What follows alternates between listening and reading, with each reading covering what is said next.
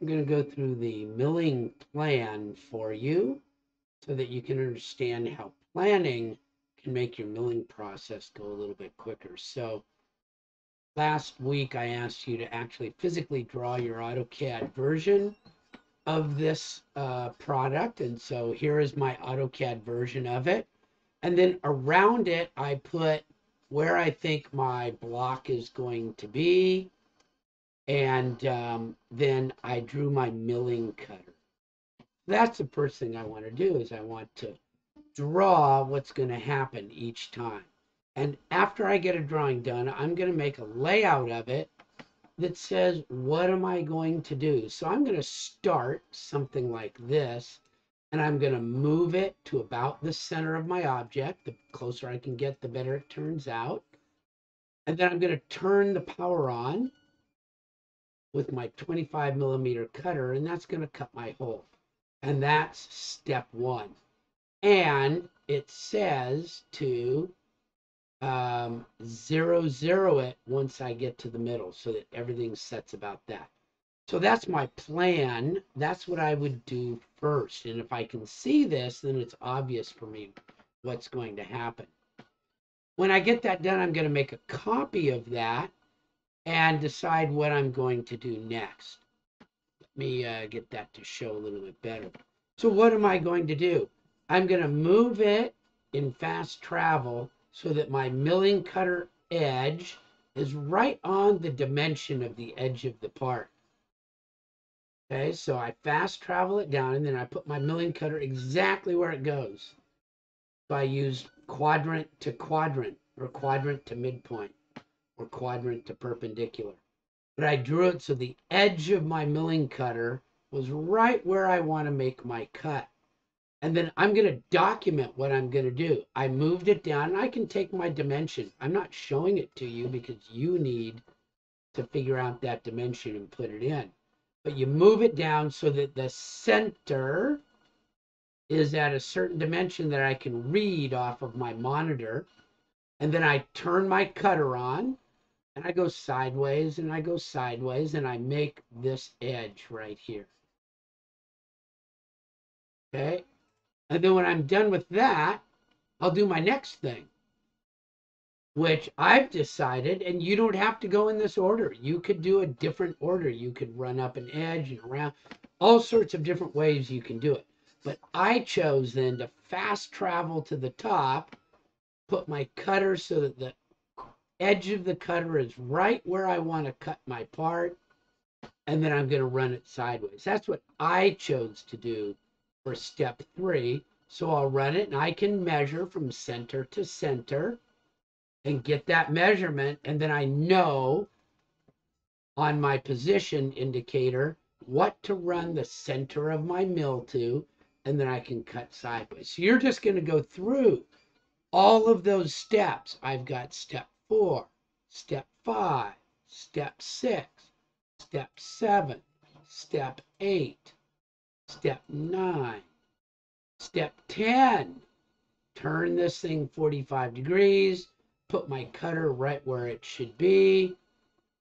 Okay, get the right size cutter and run it back and forth sideways. And step 11. And then I should have my part. That should be it. So you're gonna you're gonna make a little layout of each of those in order so that you can understand what you're going to do ahead of time. And you're going to give yourself the information, the clues, and you're just going to read it drawing by drawing by drawing. And you'll step through that. Look how easy it is just to get this one. Put the center at a certain X, Y reading, turn it on, and cut. Okay, so that's how you're going to do it. Now, I want to show a cool tool that will help put this all together. So I have all of all of these things, and I can do something called publish them. So I go to the big A in here, A, and publish. I can I can publish them as a batch print. And let me go back. I think um, I go click Uh, No, I'm sorry. I'm going to print batch plot. That's what I wanted to do. Print and batch plot. Click. And then this comes up and I can say, oh, I want to, I want to print all of my layouts. I'm going to print all my layouts. So I can print it to PDF. So that's cool. I'm going to print it to PDF.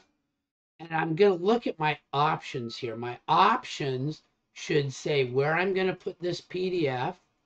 It should say multi-sheet and uncheck prompt for name and click, you know, whatever you're going to call this thing. I've called it assignment three milling code. Okay. I set it up for not the greatest quality because I don't really care. Okay. I'm just trying to get something. So, okay. So you can set up that. Make sure that you have all of these things checked. I need to actually check them all. There they go. And I I don't really need this one, so I can I can keep that one off. I can uncheck all of these. I don't need a plot stamp. Publish in the background is slow. Don't do that. And open the viewer when it's done. So I can probably do that. So uh, I'll go look for it instead of do that. So I'm going to just click, click, publish. And I've already got it done once, but I'm going to go and replace it. And I don't need to keep this unless I want to. And there it is. It's publishing one, two, three, four, five, six, seven, eight, nine. It published 12 of them, so it did publish my main one. And I'll go look for it, and I can see it. And there's my main file. So, uh, and there's each one. And so now you've got a nice, easy reference to go by. Now, when you put your portfolio together, you can take a snip of each one of these and make them smaller, or you can just import this thing right into your um, each one can be a page, but you can, for your portfolio, you could probably put four of these to a page and just have um, uh, three three sheets of it, right? So there you go. That's how to do it. You're gonna, and I'll tell you, this will take much less time. There's 11 steps. Each step should take you two to three minutes since uh, you know what you're doing.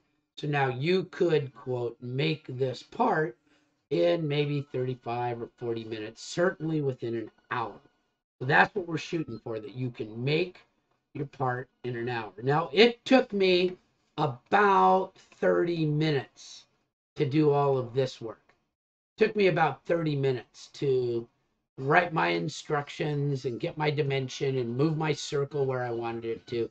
So it's going to take you about an hour and a half to get this done, I think. All right, there we go. That is your milling plan development.